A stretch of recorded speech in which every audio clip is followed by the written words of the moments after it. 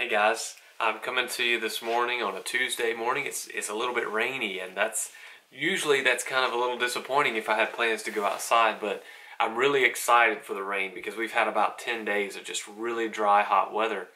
And uh, I've been reading in my Bible study about dry dryness and hotness and uh, in this in the story of Israel when they're making their journey from Israel to the promised land, they have to wander in the desert for 40 years where there's very little rain, if any, uh, very little sources of refreshment, very little sources of, uh, of, of water and rest. They are nomadic people and they don't have a place to call their own, to sit down and to rest for a while. And God calls them to wander because they rebelled against God and they didn't trust His word through Moses and through Joshua. So God is leading them through the desert to make them uh, aware of that He is the source of provision in their lives. And I read in Deuteronomy something yesterday and I, I jotted it down. I shared it on my Facebook page. But I thought this was so appropriate today to talk about. Uh, it says in um, Deuteronomy chapter 2, verse 7, God is saying to the people of Israel, The Lord your God has blessed you in all of the works of your hands. He's watched over your journey through the vast desert. These 40 years the Lord has been with you, and you have lacked nothing.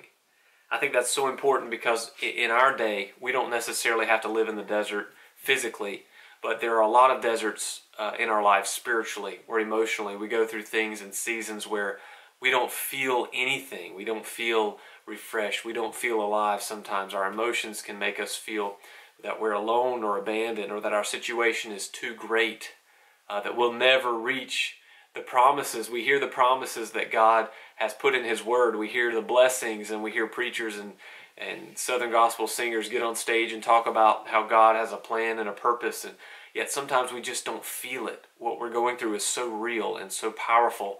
Uh, we just feel dryness, and it's been so long since we felt refreshed that we don't even remember what it's truly like. Uh, but I want to encourage you that I, I've learned in my life I'm 30 years old. I've gone through a couple of things, but um, I've learned that God doesn't always divert you around the desert. Many times the Israelites cried out to God, Why are you bringing us in the desert to die? God doesn't always divert you around the problem, but He promises that He will watch over us and He'll bless us even as we go through them. You're never alone. Your blessings are being prepared for you while you journey. So keep moving forward, and one day you'll, like the Israelites, will walk right into the promised land and see all that God has in store for you. You know, sometimes we want God to do things in a certain way, but God has His way of doing them, His plan. And so I encourage you today, whatever storm you're facing, whatever season you're in, maybe you're in the refreshment season, maybe you're in an abundance, an overflow. But I can tell you a lot of people are concerned uh, during this season uh, with the COVID 19 epidemic. Uh, here it is in May 18th, May 19th of uh, 2020, and this has shaped the world. This has changed the way we do things from now on. A lot of people have lost their jobs. A lot of people have lost their uh, sources of confidence in their income, their ability to provide for their family, and they're depending on the government. They're depending on uh, other things to take care of them. But I just encourage you to remember that God is your source of provision. God is the source, the constant source of peace, even in the chaos, even in the storms that we go through. So be encouraged.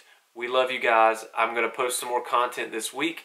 Uh, we have a live concert coming to you from First Baptist Church of Indian Trail. I encourage you to tune in to our Facebook page. We're going to stream it live and get some encouragement from our concert. This is exciting. It's one of the first uh, tours out of the house.